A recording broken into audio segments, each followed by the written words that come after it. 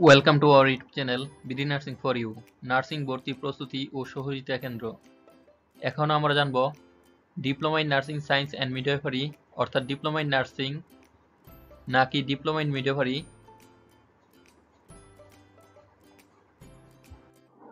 কোনটির ভবিষ্যৎ কেমন, কোনটি করলে তাড়াতাড়ি বা দ্রুত চাকরি হবে, কোনটি করলে আপনার জন্য ভালো হবে, কোনটি করলে সরকারি চাকরি আগে হয়, এবং আবেদন করার সময় কোনটিতে আগে চয়েস দিবেন? ডিপ্লোমা ইন নার্সিং নাকি ডিপ্লোমা ইন মিডওয়াইফারি কোনটি করলে স্যালারি বা বেতন বেশি পাওয়া যায়? এবং কোনটিতে সরকারি এবং বেসরকারি প্রতিষ্ঠানে পড়াশোনার খরচ কত? বিস্তারিত সব তথ্য জানব।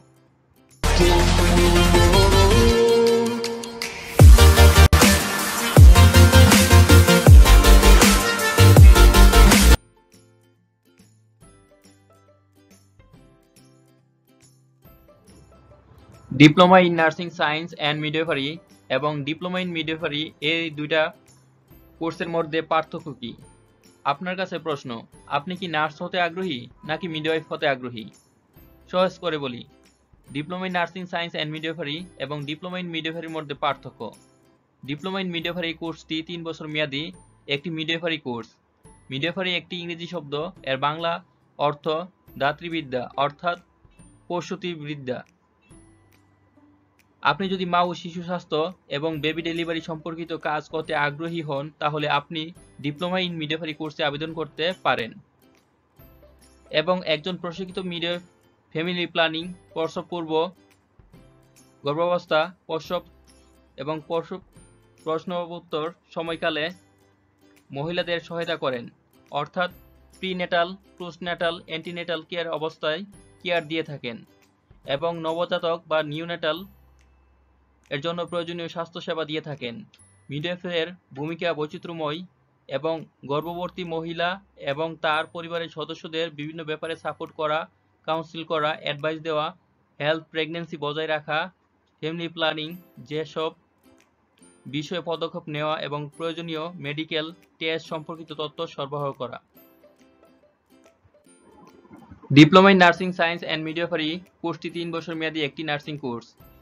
একজন নার্স চিকিৎসা ক্ষেত্রে হাসপাতালের বিভিন্ন ইউনিটে, যেমন operation theatre, OT, ICU, NICU, CCU, HDU, dialysis, emergency, medicine,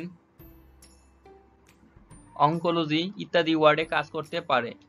নার্সরা সাধারণত হাসপাতালে অথবা অন্যত্র কাজ করে সেসব রোগীর জন্য, যারা শারীরিক বা মানসিক অসুস্থতায় ভুগছেন।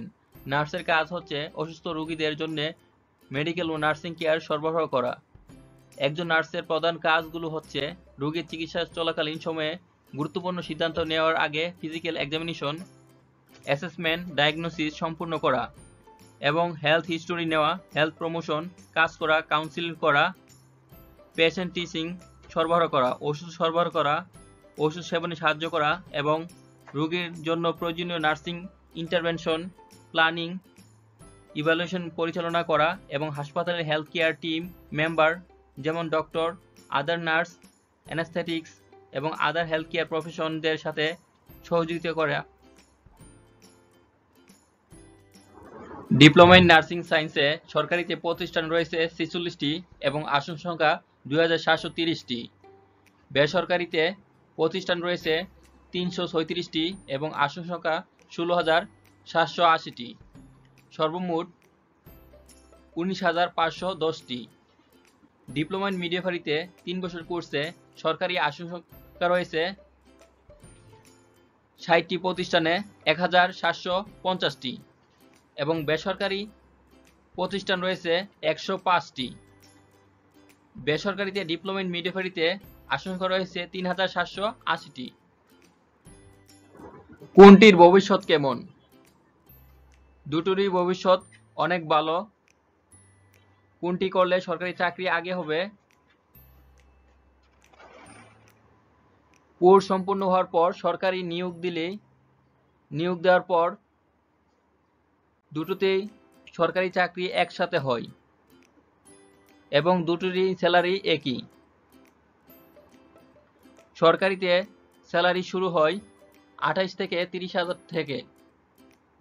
এবং বেসরকারি হসপিটালে নার্সিংয়ে মিডওয়াইফারি স্যালারি একই, পনেরো হাজার থেকে বাইশ হাজার টাকা। এবং এনজিওতে ডিপ্লোমা নার্সিং সায়েন্স এবং ডিপ্লোমা মিডওয়াইফারি স্যালারি চল্লিশ থেকে আশি হাজার টাকা পর্যন্ত স্টার্টিং স্যালারি। এবং টিচিং প্রফেশনে পড়তে চাইলে অবশ্যই ডিপ্লোমার পর দুই বছর বিএসসি কোর্স করতে হবে। কোনটিতে আগে চয়েস দিবেন? সেটি আপনার ইচ্ছে। আপনি ডিপ্লোমা ইন নার্সিংয়ে চয়েস প্রথমে দিতে পারেন, তারপরে ডিপ্লোমা ইন মিডওয়াইফারিতে চয়েস দিতে পারেন। যদি ডিপ্লোমা ইন নার্সিংয়ে চয়েস এ চান্স না হয় ডিপ্লোমা ইন মিডওয়াইফারিতে চান্স হওয়ার সুযোগ থাকবে। একইভাবে ডিপ্লোমা ইন মিডওয়াইফারিতে যদি প্রথম চয়েস দেন, যদি ডিপ্লোমা ইন মিডওয়াইফারিতে চান্স না হয় কোনো কারণে ডিপ্লোমা ইন নার্সিং সায়েন্সে চান্স হওয়ার সুযোগ থাকবে। তবে যদি ডিপ্লোমা ইন মিডওয়াইফারি প্রথম দিকে চয়েস দেন, সেক্ষেত্রে চান্স হওয়ার সম্ভাবনা বেশি থাকবে। কারণ ডিপ্লোমা ইন মিডওয়াইফারিতে প্রথম দিকে আবেদনের চয়েস কম দেওয়া হয়।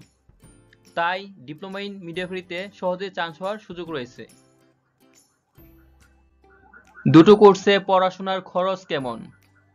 সরকারিতে এবং বেসরকারিতে নার্সিং প্রতিষ্ঠান এবং মিডওয়াইফারি নার্সিং প্রতিষ্ঠানে সরকারি খরচ একই। এবং বেসরকারিতে যেহেতু তিন বছর diploma in nursing science and midwifery diploma in মিডওয়াইফারিতে কোর্সের খরচ একই। সরকারিতে কোর্স ফি তিন বছরের টোটাল খরচ হবে প্রায় বিশ থেকে তিরিশ হাজার টাকার মতন। কারণ হোস্টেল থাকা খরচ, ফ্রি পড়াশোনা, ফ্রি ভর্তির সময় কিছু টাকা লাগবে রেজিস্ট্রেশন ফি ভর্তি ফি এবং অন্যান্য ফি সহ কিছু টাকা লাগবে তিন বছরে টোটাল বিশ থেকে তিরিশ হাজার টাকা এবং প্রতি মাসে যে বাতা পাবেন তা দিয়ে আপনার খাবার খরচ হয়ে যাবে এবং হোস্টেল কস্ট ফ্রি। বেসরকারি নার্সিং প্রতিষ্ঠানে diploma nursing science and diploma midwifery কোর্সের কোর্স ফি তিন বছরে একই, কিন্তু এক এক প্রতিষ্ঠানে এক এক। তবে বাংলাদেশের সর্বসেরা যে নার্সিং বেসরকারি প্রতিষ্ঠান, সেখানে ডিপ্লোমা নার্সিং এবং ডিপ্লোমা মিডওয়াইফারিতে কোর্স ফি, থাকা খাওয়া, হোস্টেল ফি সহ পড়াশোনার সর্বমোট খরচ সাড়ে তিন থেকে চার লক্ষ টাকা। এবং ভর্তির সময় প্রতিষ্ঠান বেদে পনেরো থেকে তিরিশ হাজার টাকা ভর্তির সময় দিতে হয়। ভিডিওর উপরে আই বাটনে ক্লিক করে দেখতে পাবেন বাংলাদেশের সেরা দশটি সরকারি এবং সেরা দশটি বেসরকারি প্রতিষ্ঠানের কোর্স ফি এবং অন্যান্য খরচের তথ্য। Diploma in nursing science and midwifery বা ডিপ্লোমা ইন নার্সিং এবং ডিপ্লোমা ইন মিডওয়াইফারি কোর্সের সম্পর্কে যে কোনো তথ্য জানতে ভিডিওর নিচে কমেন্ট বক্সে কমেন্ট করে প্রশ্ন করুন। এছাড়াও নার্সিং বিষয়ে যে কোনো তথ্য জানতে আমাদের ইউটিউব চ্যানেলের যে কোনো ভিডিওতে কমেন্ট করে প্রশ্ন করুন।